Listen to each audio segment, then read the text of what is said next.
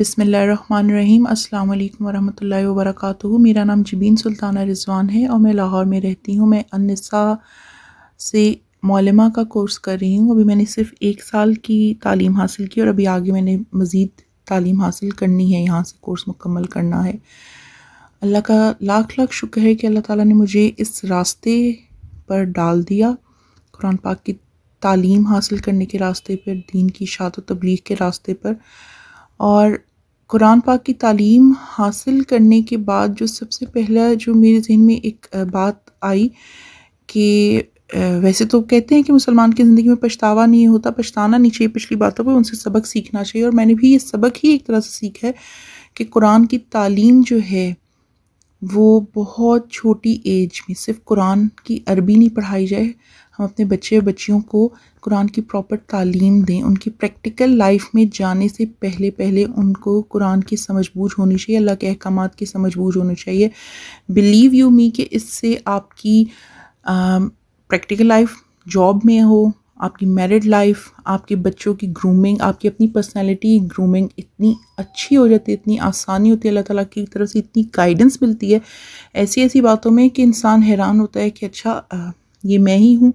जैसे अब sometimes I do wonder कि एम आई दैट पर्सन जो कि अभी डेढ़ दो साल पहले इस तरह से थी और अब इतना सादा अल्लाह के फजल करम से चेंज आया है मुझमें?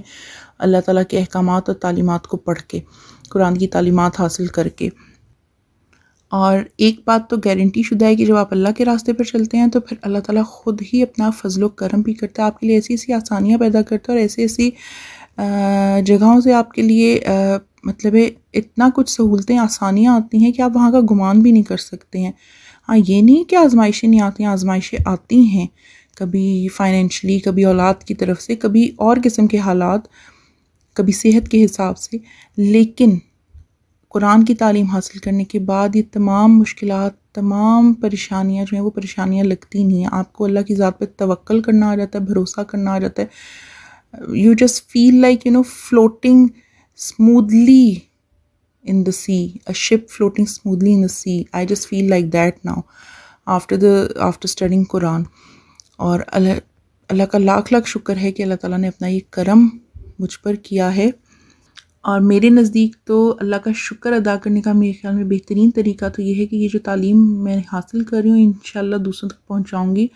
और इस सिलसिले में जो शुरू से मेरे जहन में एक चीज़ बहुत ज़्यादा थी एक तो चीज़ मैंने डॉक्टर ज़ेबा से रिक्वेस्ट की थी उस काम के लिए और दूसरा ये है कि ऑब्वियसली अभी तो खैर लॉकडाउन की वजह से स्कूल्स वगैरह बंद हैं तो इन शाला जब अल्लाह ताला के फजल करम से हालात मामूल पर आएँगे तो ऐसे स्कूल्स जो कि ख़ास तौर पे जो चैरिटी बेस्ड स्कूल्स होते हैं आई थिंक हमें उस जगह पे जाके उन बच्चों को कुरान की तालीम देनी चाहिए, अखलाकियात, कुरान और सुनत के हिसाब से हदीस के हिसाब से सिखाना चाहिए, क्योंकि हमारे माशरे का जो लोअर तबका है, जो लो लेवल तबका है, उन तक तो ये तालीमत है ही नहीं, पहुँचती ही नहीं, उनको ख़बर ही नहीं बहुत कम वेरी फ्यू फ्यू बहुत थोड़े से ऐसे होंगे जो कि शायद कुरान की तालीम हासिल करते होंगे।